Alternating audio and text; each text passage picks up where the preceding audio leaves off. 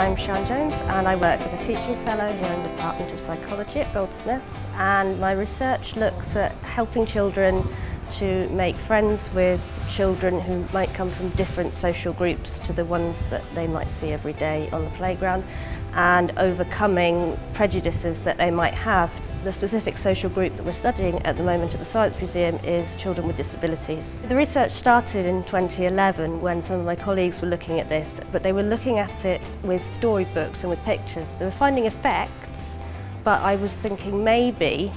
if we start looking at this in the realm of the 3D world,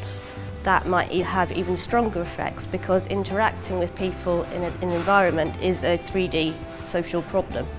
um, particularly if you're navigating the world with a physical disability. And we found the positive effects again. So from now on, we've been using the Playmobil um, and children seem very much more ready to engage with that. The educational implications for this in terms of reducing prejudice across numerous different groups could be quite something. It shows not just that children want these toys, but they do have very positive implications for the ways that we produce prejudice and for our education system, with children working together in different groups, especially as our education system becomes more diverse.